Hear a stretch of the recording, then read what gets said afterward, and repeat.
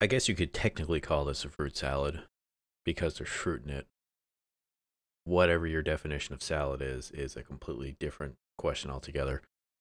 Regardless of the fact, this is a recipe. This is in the cookbook. This is grandma's cookbook.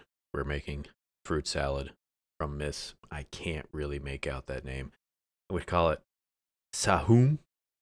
Sahurn? To start with, we're going to have to make the lemon pudding for the salad, which, following the directions on the package, say one packet of pudding mixture and two cups of milk.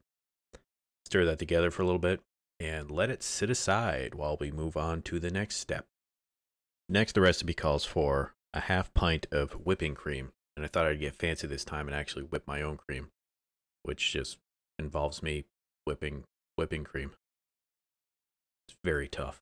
In the time it takes to whip the whipping cream, the pudding should have set long enough to turn into pudding. This step, we're going to go ahead and add the one can of crushed pineapple and then mix it all together. Next, the recipe calls for cherries. Doesn't say how many or what kind, but I figured if I'm going to make it quote unquote authentic, I'll use maraschino cherries and then walnut meats. Again, no amount. I just went with about a half cup's worth. Mix it all together. The next fruit we're going to mix into the salad is one half pound of cottage cheese. Once that's very well incorporated, we're going to gently fold in our whipping cream. And there you have it fruit salad. And how's it taste? Not bad. Walnuts are probably a bit too strong in this salad or this fruit salad.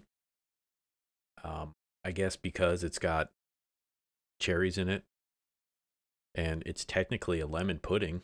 I guess it's a fruit salad. It's weird. But there's a recipe as best as I could interpret it. Go ahead and make it for yourself.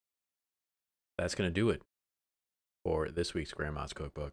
Thank you all for watching. I'll see you next week with another recipe from this book.